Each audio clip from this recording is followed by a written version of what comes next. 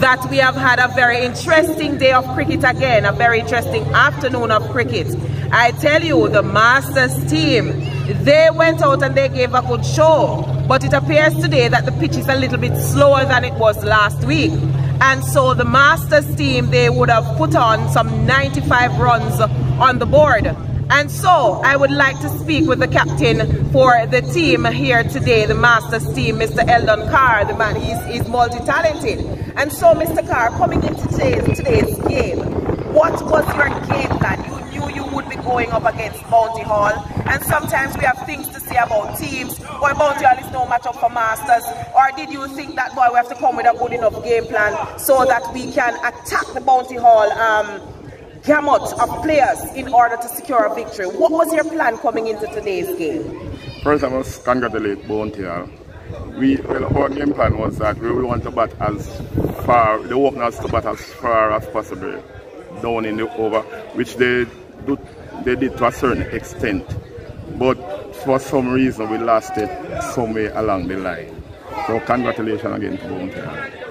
All right, and as I always say, cricket is a game where it is played ball by ball. The ball is round and the result is unpredictable. We can't predict the score for a cricket match until the end of it. And so it was a very good matchup here this afternoon. And so, Mr. Carr, I want to thank you for the Masters team coming because I said it earlier that in the in the knockout round, your team was the team that made the most runs, 171 runs.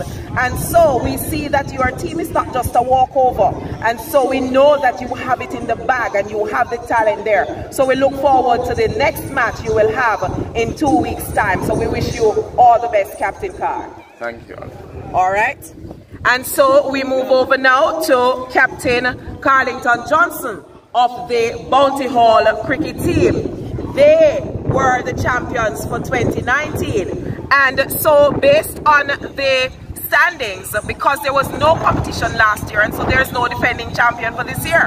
And so Bounty Hall came into this competition this year as any other team, but they said they have it to win it. And so they came here today with a game plan, I'm sure.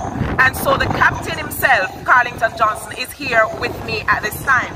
And I just want to ask Captain Johnson, going out there, I saw you come early, I saw you with your team, and I saw that you know you had your meeting and so on. What was it for you? What did you tell yourself that you needed to do to secure a victory here this afternoon? Well, first and most, I want to say thanks to my team. But I mean, we really go out there today with a plan because for about a year or so we haven't played the cricket. So, you know, we have been a good form. So, because of that, we was kind of take the game slow. You know, bowl the ball in the right areas and try to restrict myself. We didn't try to go out there and try to bowl them out. Because the main thing is to restrict them. So, within the, within the 20 overs with us, that's it. The plan did work with us go on bowl the ball in the right areas and we ended up restricting to 190 to 95. So that was the plan. In terms of batting, we know that we, that we haven't batting, we haven't played cricket for such a long time. So we just ask the guys into us bat slow, bad ball come, capitalize and kind of bat themselves into a little farm. So actually move forward from this game. Very good, very good. And you know, I'm really happy with what you said there. You know, haven't played cricket for a while. And, um, you know, the team just came together and decided just to make things work. We're to make things happen. And as they say, teamwork makes the dream work. And so that is what worked here today for Bounty Hall. And so I'm sure they're smiling their way back to Bounty Hall this afternoon. And so as we move forward, we want to thank everybody for tuning in, for watching, for coming to the Trelawny Stadium and being a part of SDC T20 Community Cricket Competition. Now the competition continues next week, Saturday.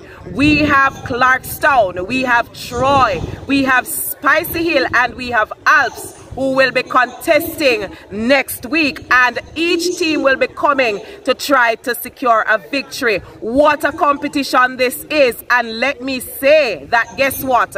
Nobody should consider themselves top dogs in this competition because a lot of upsets have been happening. We don't know what is next. The ball is round. But from here to over there next week, we ask you to continue to support SDC Community Cricket. Continue to watch Jamaica Street Sports. Continue to like and continue to watch because guess what? Every week the matches are uploaded and so if you don't catch it here, you can catch it on YouTube. So continue to watch us, continue to like us, continue to support us. We are SDC, we are Jamaica Street Sports